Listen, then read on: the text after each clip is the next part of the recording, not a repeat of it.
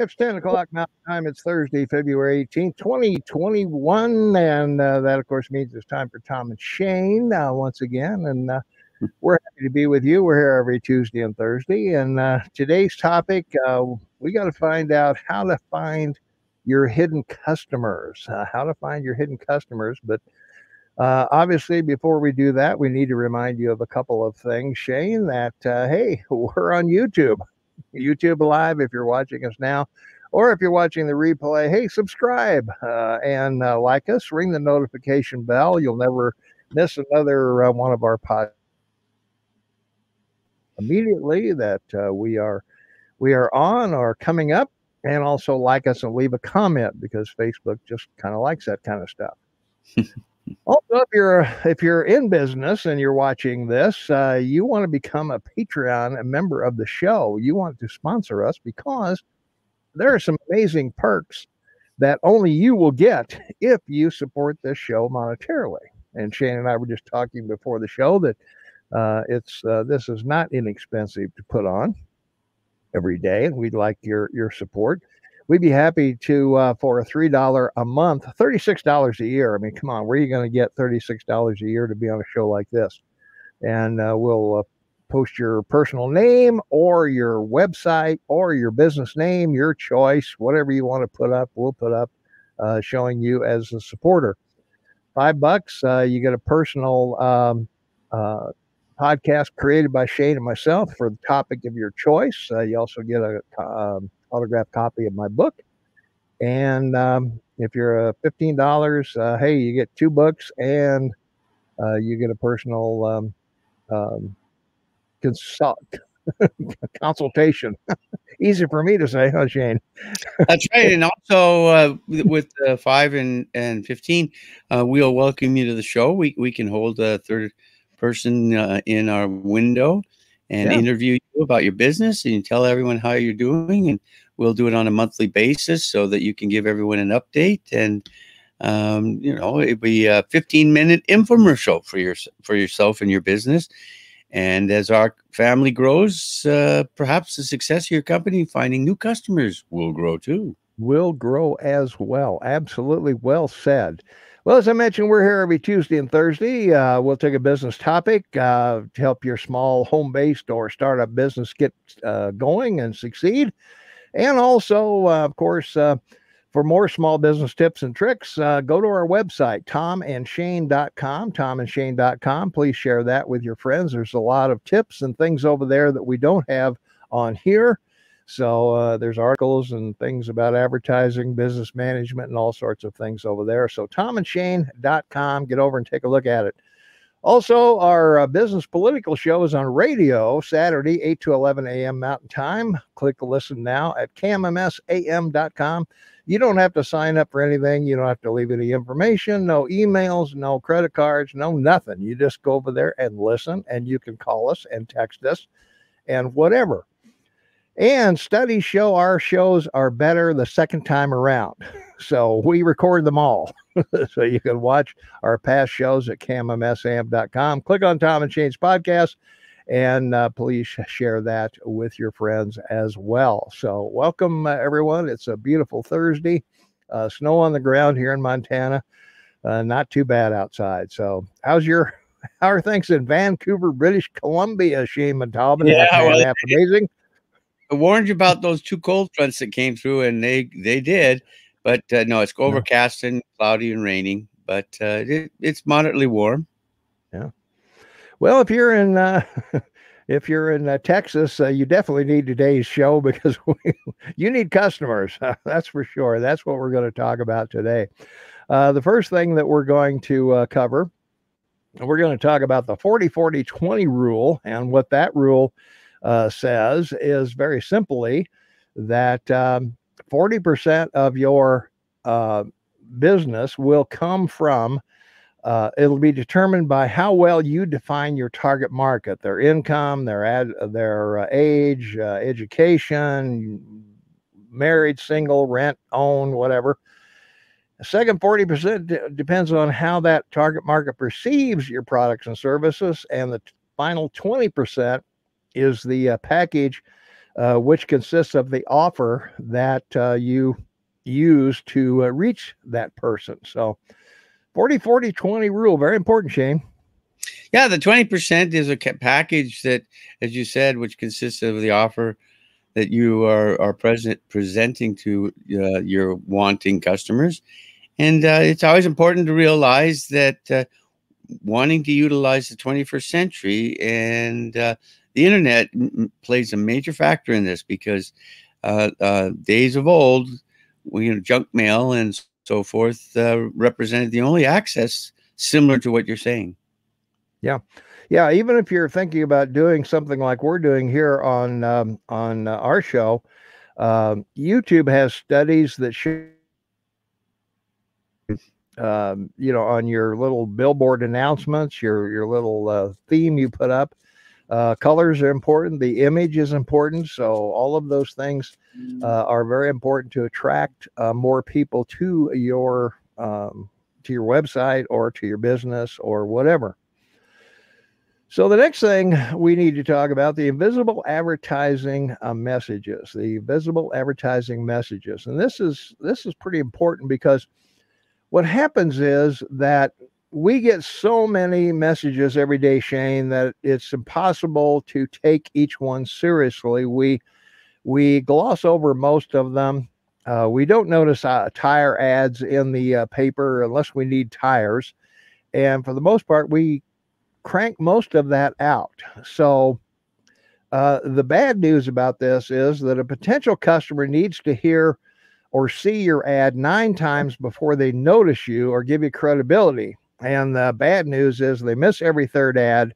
So you're looking at at least tw- the customer has to see at least 27 ads before uh, you register on their radar or they or you become uh, visible to them. That's uh, that's absolutely right. When when I mentioned um, junk mail, you know, it represented over uh, uh, well, it used to represent about 55% back in the you know 50s, 60s, 70s of the mail. Now it's over 85%, heading to 90, and about the only thing that's keeping uh, the post office up. So think about this in terms of wanting to get out through this advertising and messaging that people want or need your product or your service two important goals that in in being able to get that message out. Absolutely right. Yeah, it's uh, it, it's really important that we that we uh, reach our ideal customer um, as as well as we can. But the the other issue, um, the advertising message only becomes visible to the target market when they need the product or service. You don't you don't look in the paper every day to see how much tires are if you just bought a set of tires. You know? And yeah, you, you don't. You gloss over those over those ads. So your target market is constantly evolving. Um, you know, I, I grew up in the uh, floral business. My father was a florist and a landscaper, and uh, you know, every day somebody had an anniversary. Every day somebody had a birthday. Every day somebody had a new baby uh, Mother's Day and Valentine's Day were big days and proms and things like that. But the point was that we still had to reach those people if they had an anniversary think flowers or think of you know something for the for the wife or or husband so the um, the message only becomes visible when we have a need or a want, either one. The need is more powerful than the want, probably. a lot of things I want, but I'm not going out and buying them. but there's a ton of stuff that I need, and I will buy that stuff. That's right, and, and rotating m- marketing uh, that we're talking about in this in, in, in today's show isn't about uh, rotating through different types of uh, marketing. Uh, wh- whether you've decided that you want to do uh, something on the internet or with your website or radio or even perhaps television, depending on the size of your business and what, what service or product you provide. The, the importance is, is that you're always making an effort to advertise. It's like networking. Uh, they, they go hand in, in, in hand together in helping expand the quality of your uh, uh, customer base. And so this is something that, you know, people, as Thomas mentioned, they have to see your message a number of times it's a repetitive game, but at the end of the day, it's been very successful. Uh, you know, commercialism is all predicated on consumption, and consumption is best de- developed by advertising and reaching people that uh, will come to your business and and consume. Mm-hmm. Yeah. Well, for that, uh, for in order to make that work, uh, we want to talk about something called reverse target marketing. And how does that work exactly? Well, let's take a look at it.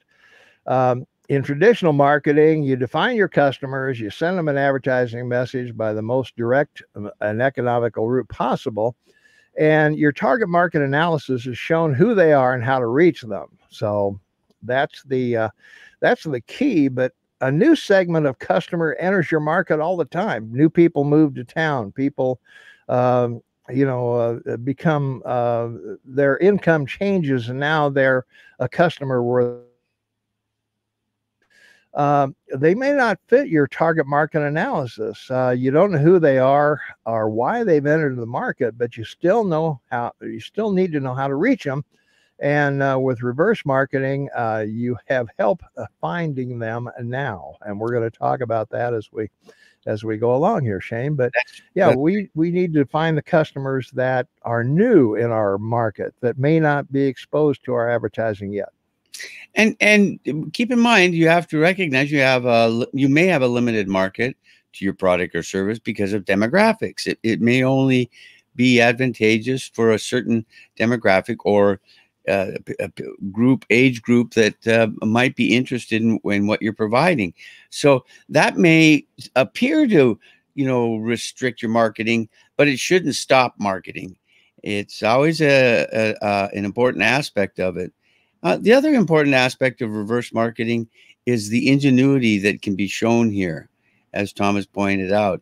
And you know being being uh, uh, comical or showing some um, humor in your your reach to people in in this type of marketing can be very beneficial. It, it can be uh, something that makes people comfortable.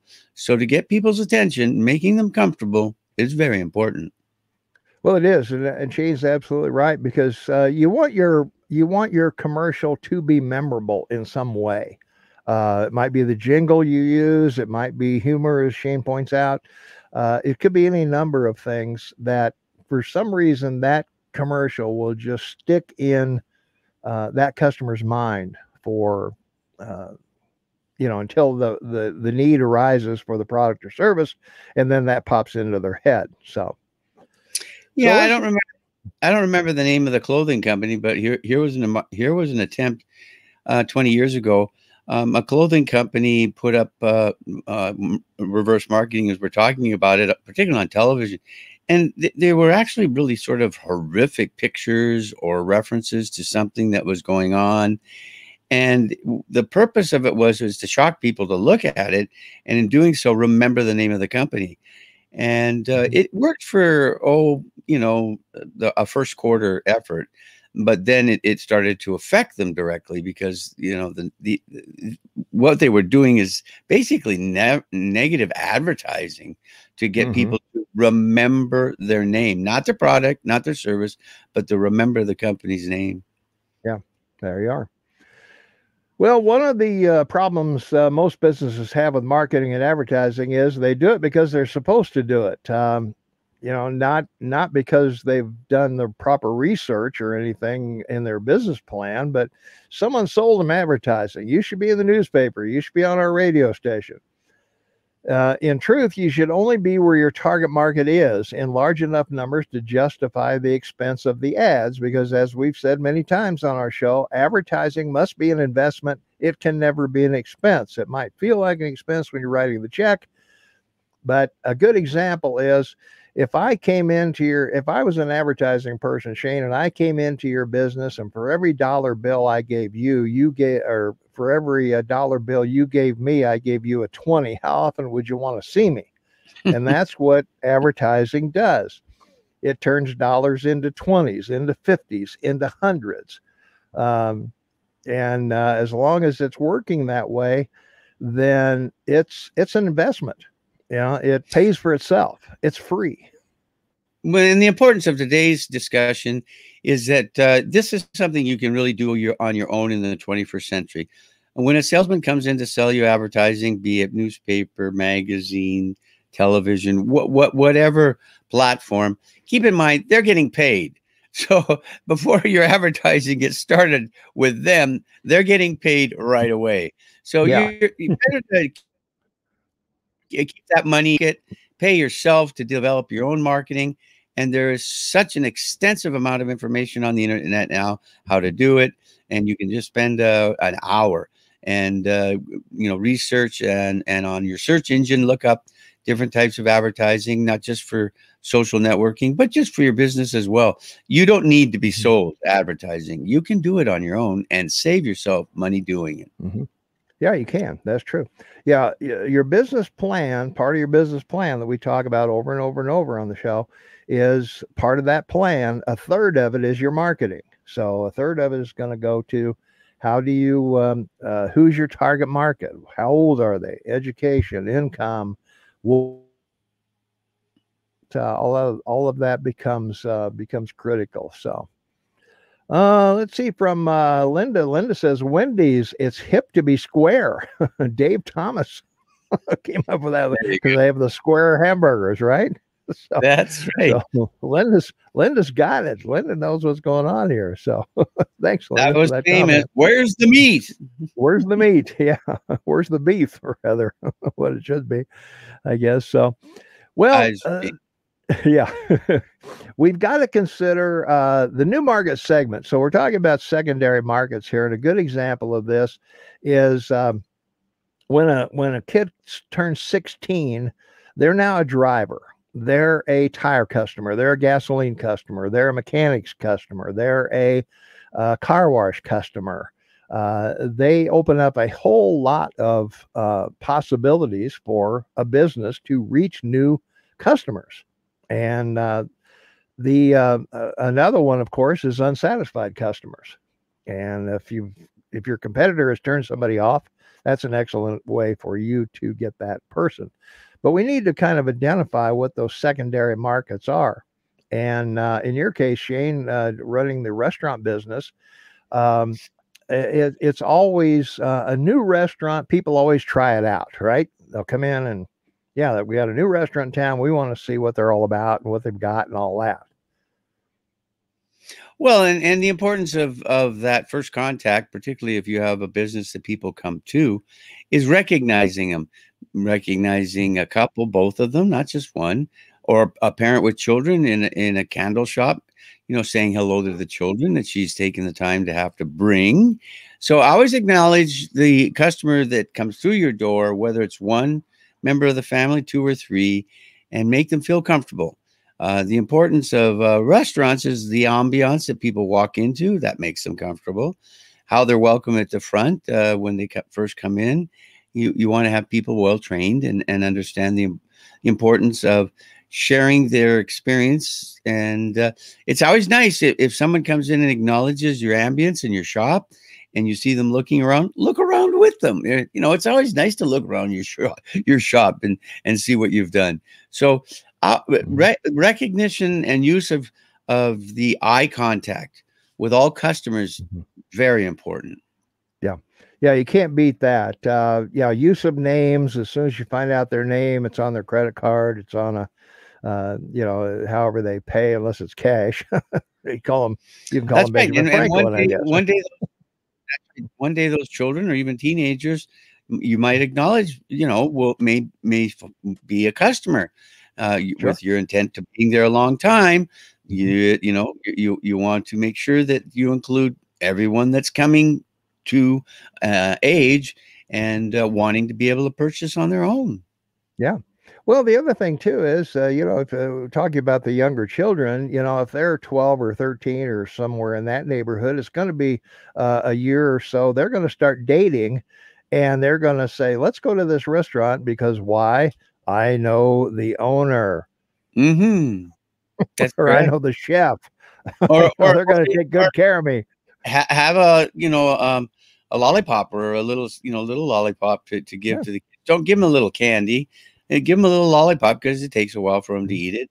And you'd be surprised next time they go shopping, that child might say, Mommy, I want to go get a lollipop. Marketing can be simple, it does not have to be costly or, you know, uh, grand. And uh, mm-hmm. so th- th- these are the type of things we like talking about uh, during these segments because they're, they're just uh, managed hints that uh, we have uh, had and used in, in, in our lifetime, and they've mm-hmm. worked. Yeah.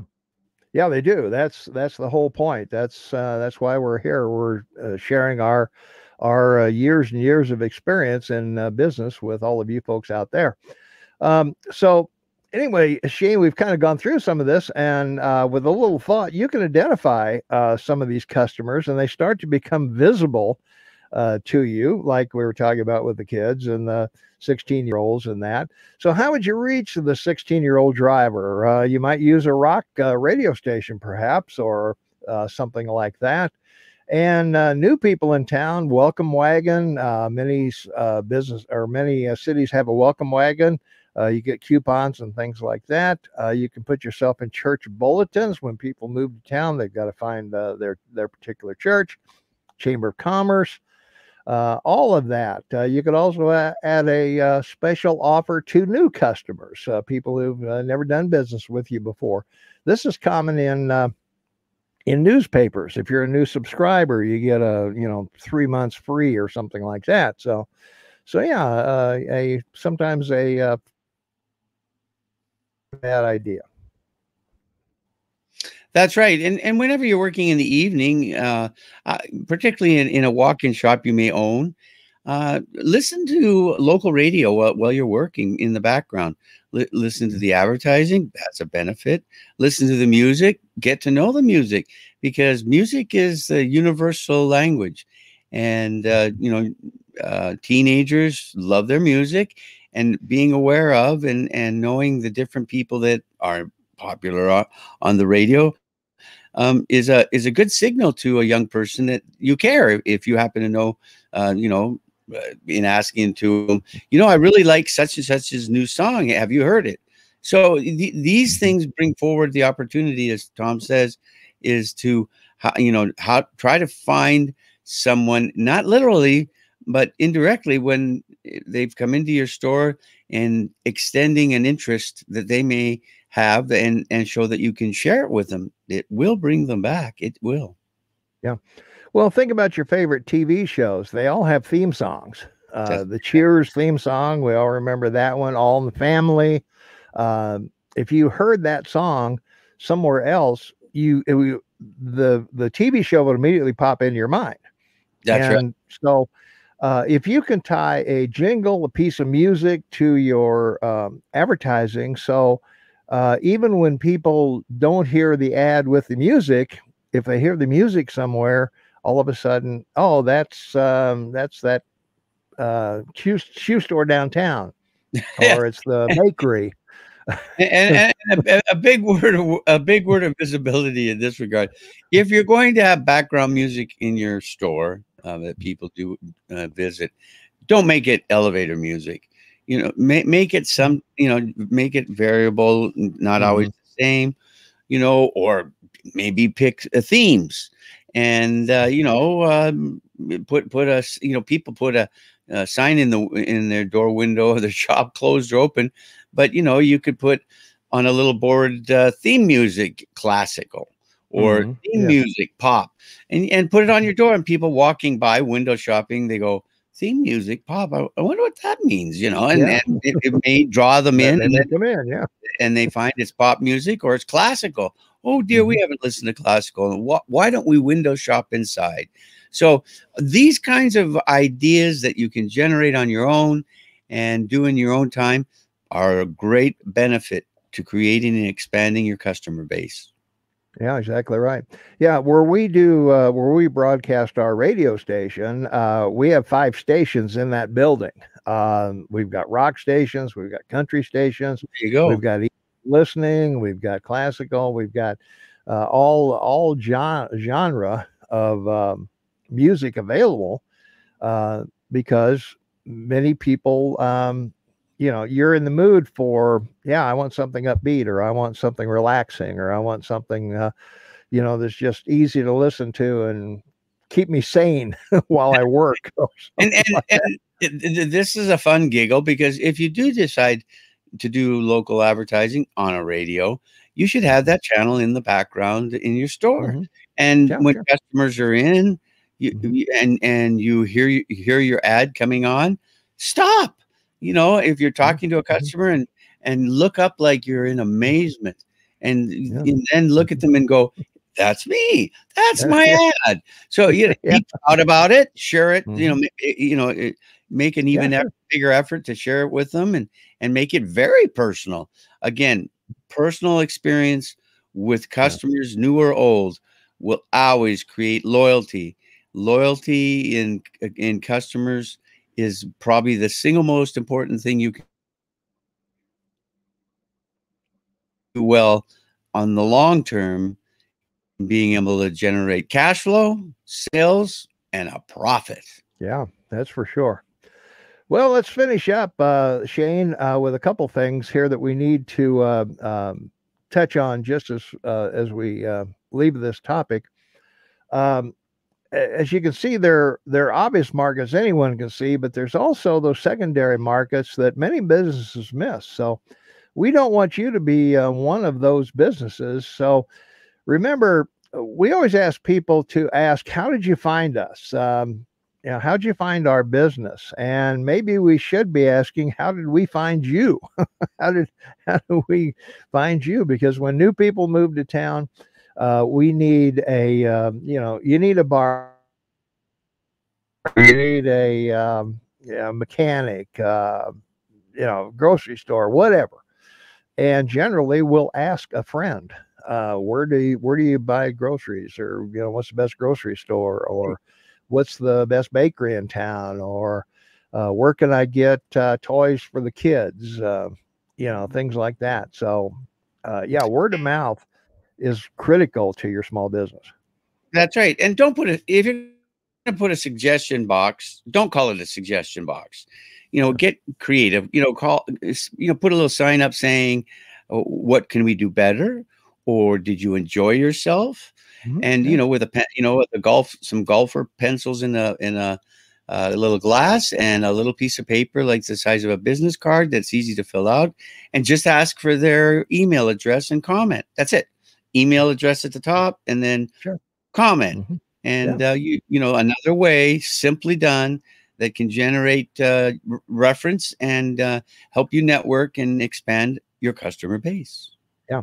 Well, another thing that we talk about, and and Shane hits it on the nail this time, uh, absolutely that um, we want to make it easier easy for customers to complain. We don't want them leaving the store and talking to other people. If they have a complaint, we want to make it as easy as possible for them to complain to us, and you know shut that down as quickly as we can because when that person goes out and tells somebody about a bad experience that person will tell the next person, but they're going to embellish the experience to make it a little more interesting.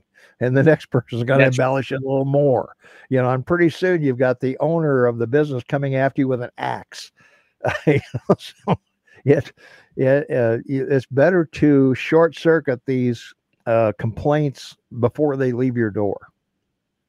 That's right. And, and another simple example for the, for a box is just put a sign up, uh, rate us and you know yeah. scale mm-hmm. one to ten so yeah. you know that's people know what that is uh, you know uh, mm-hmm. don't it try to make it something positive that people want to respond to i believe. Um, you know complaints or suggestions that people have been seeing that for 20 years. So they, they, yeah. that's nothing new. Make make it something different make it something new. For sure. Yeah. Absolutely right all right. Uh, hey, if you're watching us on YouTube right now, don't forget to subscribe, ring the notification bell. You'll never miss another podcast of ours. We're here every Tuesday and Thursday, 10 a.m. Mountain Time. So put that in your calendar. Uh, like us and leave a comment. Uh, YouTube likes that kind of stuff. And if you'd also like personal attention from us uh, about your business or service or questions, or if you want us to do something for you, then uh, check our Patreon site and uh, the description will be, or the link will be in the description below. and how to get there and the uh, various things that we offer. But um, I'll tell you, you're getting you're getting an awful lot of expertise for not much money uh, over there. So go over and take a look at what we have to offer for you, and uh, see if uh, if that will do the job for you. So. All right, uh, let's see what else we got, Shane. We've got to talk about. Uh, uh, we've got past shows. we, have got past shows. We're always better the second time around. When you hear it second time, it's always better than the first. You know, so by all means, get over there and and check it out and then, at kmmsam.com. And and the importance of the past show and the and the catalog that we're putting together here is to present you with an opportunity to not have to pay for the education of, yeah. of, of getting your own opportunity. Uh, we're laying out all in detail hmm. so that you can simply watch uh, several of the shows or all of them. And uh, Tom references them and indexes them. So, yeah, uh, the different subjects and topics. And uh, the information is good. It, it, it's balanced, it's informative, and we try and make it fun and you know not boring because you know reading a business book can be boring or that going to a boring. lecture that yeah. you're paying for about business could be boring but we're not so you, you can enjoy yourself and like i said have that background music if you need but yeah. uh, in the case of listening you don't you won't need it but that's okay yeah maybe i should but maybe i should put background music with all our podcast. we, we can do that. I only need more things to do during the day. So, uh, geez. Hey, don't forget our website, uh, tomandshane.com, tomandshane.com. There are articles over there. There are tips, advertising, business management, uh, employees, all sorts of things over there. Uh, some of the there uh, how to sell on the phone, for example, is over there, and uh, many others. So check out tomandshane.com. No cost, no sign up, no nothing. If you want to be advised when new articles come up, there's a place where you can uh, put that information in, your first name and your email, and we'll uh, shoot an email out to you every time we put up new stuff on uh, tomandshane.com. That'll be, of course, every week. And uh, don't forget to um, watch our past shows, as we mentioned before. They're at kmmsam.com. Click on Tom and Shane's podcast. And um, don't forget, our radio show uh, is going to be on Saturday morning. Uh, we'll uh, talk to you there, 8 to 11 Mountain Time. Uh, click uh, listen now at kmmsam.com. You don't have to sign up for anything. You don't have to leave any information, no email, no name, no nothing. All you got to do is click listen now and you're on the show. And uh, you can call us, you can text us. We're a call in radio show. Uh, we do politics, we do business. Uh, they're all connected together. So uh, that's what we that's what we do. So thanks for listening and uh, watching us and uh, say goodbye, Shane. I will indeed. Thank you, Tom. Be happy, be safe, everyone. Live in the moment because it's only a moment of life and uh, life is only um, a, a, lot of moments. So uh, live to work because that's what you're now doing, and come home fa- happy to your family. That's the way they want to see you come through the front door.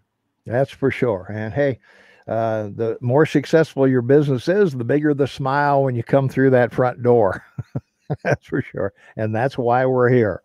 All right. We'll see everybody Saturday on the radio, 8 to 11 Mountain Time. Uh, we see him huh? today talk on Saturday. That's what I say. We'll see you Saturday. No, we won't see him Saturday, but we will talk to you Saturday. We'll talk to you Saturday. And uh, Tom and I will see each other because we do it on Skype, so we can. Yeah. We can't see each other. Yeah, we make faces at each other. Yeah, okay. that's a lot. But yeah, we'll talk to you on Saturday. How's that? 8 to 11 Mountain Time, kmmsam.com. Put it on your calendar. Don't miss it. You can call us, you can text us. Uh, we have a great time over there. We got a lot of uh, uh, loyal uh, listeners and callers and texters that uh, deal with us. So um, uh, you'll want to become part of our KMMS family. So, all right, that's going to wrap it up for us. Thank you, Shane, half man, half amazing in Vancouver, British Columbia, Canada, and Tom Egelhoff, your morning mayor at kmmsam.com in Bozeman, Montana. And hey, all views are welcome here. And if you think it there, there's a good chance we're going to say it here or on the radio. So we'll see everybody Saturday.